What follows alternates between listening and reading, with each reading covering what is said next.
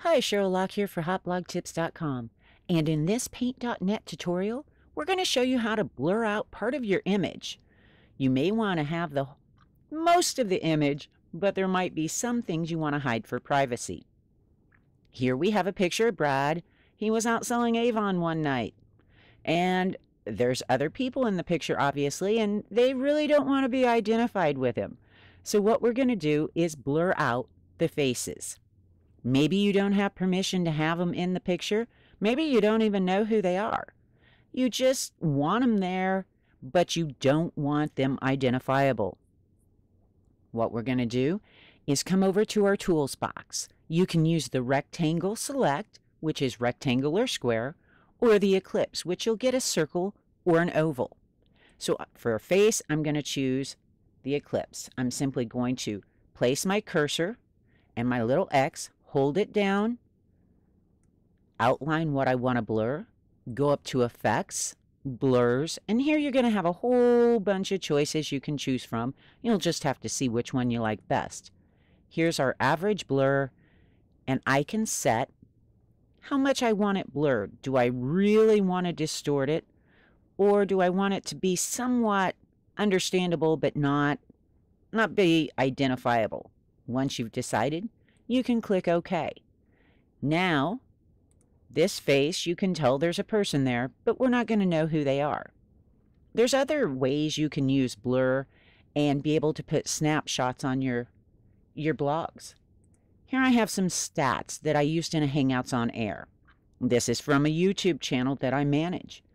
I wanted to show people where the stats were, what they were going to look like, but I didn't want to show them the names of the videos that were attached here. I thought that was kind of invading the privacy of the channel owner. So all I did was simply get my rectangle tool. I came over to each one I outlined it, went to my effects, went to blurs, and set my blur. Clicked OK. Boom. There we go. You can see most of the page, but some things are kind of hidden. Another reason you might want to use this. Here's another one I used. And my contacts for the Hangouts had their actual phone numbers listed. I could see them, but I didn't want to share them with the world when I explained how this worked. So what I did was I blurred out their phone numbers. Maybe a Facebook conversation. We see these all over the web and they've blurred out part of it. Here's one I'm having on Facebook, and while it's not really important, it was a good one to share with you all, and nobody should get too offended. What I would do is come up, get my rectangle select, go to the image, outline it by holding my cursor down, go up to effects, go to blurs, pick it out. Now you can't tell whose image it is. Click OK. I can do the exact same thing with the name so that nobody is associated with it. Blurs. Here we go. Now no one knows who this is but they can read the rest of the conversation. You can do this over and over with anything you have that you want to show most of it, but keep most of it or part of it private.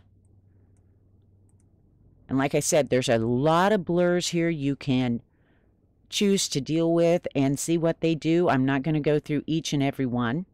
But once you've taken your image and you've blurred out the privacy issues, then you just go up to File, Save As.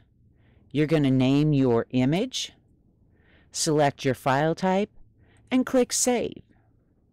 OK. And now I can use this on my blog, on a social site, what have you, and I've taken care of all the privacy issues. And just in case you thought you were going to get by without it, there's Brad again. If you ever want to sell makeup, I suggest you don't go out looking like this. Otherwise, we're going to start blurring. So thanks for watching our Hot Blog Tips Paint.net tutorial, and we hope this helps. We look forward to seeing all of your images and all the things you want to screen capture and need a little bit of privacy. Please subscribe to hotblogtips.com and Hot Blog Tips here on YouTube. Thanks.